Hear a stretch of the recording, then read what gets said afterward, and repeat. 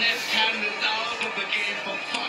Just reminding everyone that Muhammad Hafiz is in the attack here. Fantastic. 16 39, 84 for 1.